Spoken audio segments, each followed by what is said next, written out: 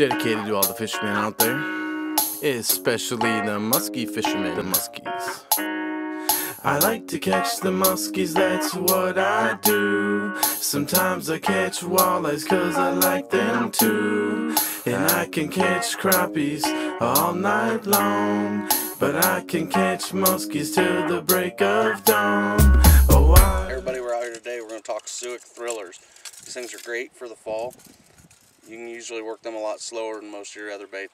We're going to talk about how to use them, when to use them, where to use them, why to use them, how to tune them. That's a big thing, especially with this one. This one's a wood model. Uh, they require a little bit more tuning than the one that I have here. It's a high impact plastic. These things are awesome because they just don't have the wear and tear that the wood ones do but each one has its own specific use and time and place. So we'll talk about that in just a second. To tune these out of the box, they usually come pretty straight. Uh, I like to have a deep dive on mine, so I give it a pretty, uh, let me control my boat here. Whoa, ah! Control my boat here, we're trying to pull a little drift, but it's a little windy out here, so that's not gonna happen. probably help, help if I turned it on.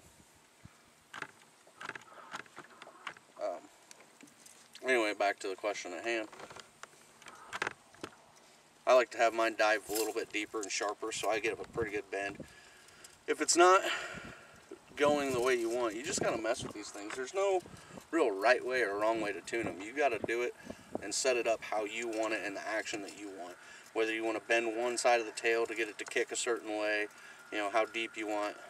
Um, you can adjust the eyelid on the wood ones left or right to decide which way it'll kick. There's so many ways to fine tune these.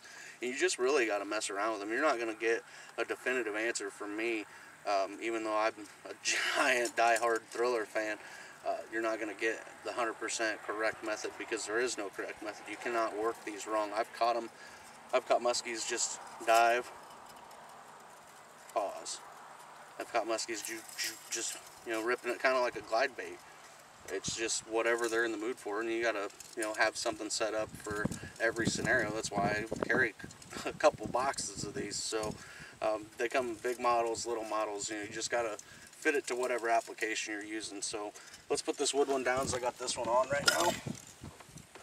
Let's talk about how this thing's supposed to work according to some people, how I like to work them how I'd be working it right now in the fall. Um, where I'm at in Illinois, we've had uh, some goofy weather. It's still pretty warm. What's our water temp right now? see it. Top left corner underneath the depth. 60.8. 60.8. It's finally cooling off around here. You know, in other parts of the country, control my boat. It's um, you know, upper 40s, low 50s. So we still haven't really hit that for sure fall phase yet. So fish could be anywhere, probably shallow right now. Uh, would be my guess. That's what I'm hearing, either shallow or super deep. So I haven't been on the water a whole lot lately. I've had some family obligations to take care of, and uh, let's just be honest, she'll probably kill me if I stay on the water every day. So yeah, this is the high impact. This is the original black color. I love this thing. You can use it all days. It's a bright day today. I should be throwing probably a fire tiger or orange or something like that, but I like to do things off the wall that everybody swears, oh, you can't do that, it won't work. And then when it works, I go, yeah. So let's throw this bad boy out here. Um, I'm gonna get a shot of this. So we throw it out there, and some people will work them like this. I like to go to the side. Um, I just, the way, when I do it that way, I can see what's going on, you know, reel up your slack, give it a couple, you know, one, two foot pull, and just see what happens there. You can let it come back to the surface. And like I said, I've caught them all different ways. You, know, you, rip, you can reel it down. A lot of people don't know that uh, a lot of guys, especially the old timers back when Frank Suick first developed this, he used to troll with this. We'll just pitch it out here real quick. I don't know if you can see that thing on top of the water there. You're able to get that? Do I need to switch to a different color? See it a little bit.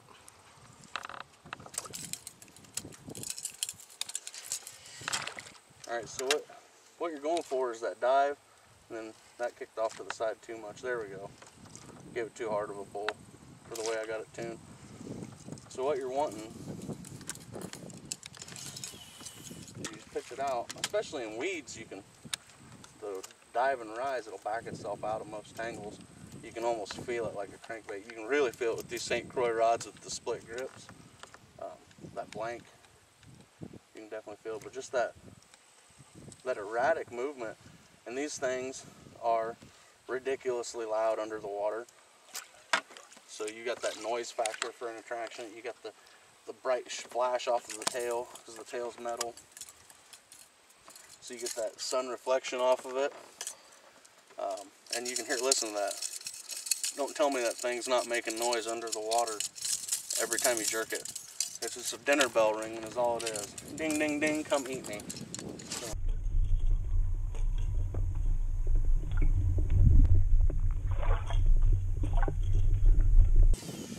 Just cast them out.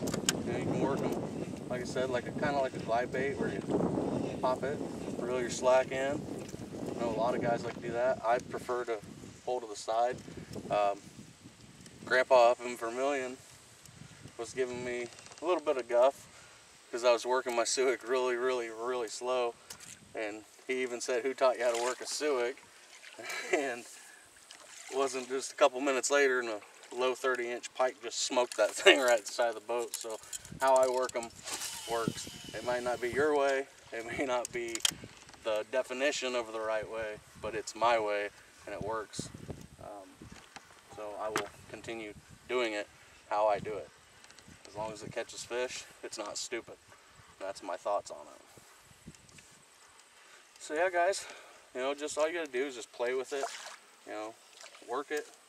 Don't forget to figure eight with it. Just do a little, you know, little erratic action like you would with a glide bait.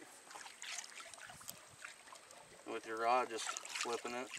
And uh, pick one of these up today. You know, they should definitely grace your boxes. I mean, there's a reason that Suick's been in business for over 70 years, and that's because that their products just point blank catch fish. So check them out. You can pick these up at muskytackleonline.com. You can pick them up from Suick. Uh, I'll put links to both of them in the description down below. And uh, you guys take it easy. We'll see you in the next one. Don't forget to rate, comment, subscribe, share with your friends. Get this video. Make it go viral just because. Uh, but yeah, just have some fun, catch some big fish. We'll see you in the next one. Here we go, heading home. We got skunked. I just talked to another guy. He was musky fishing. They caught a little, what do you say, 30 incher? Yeah, 30, 30 32 maybe. And they had a rip trolling um, that shot straight up through the hook. That happens.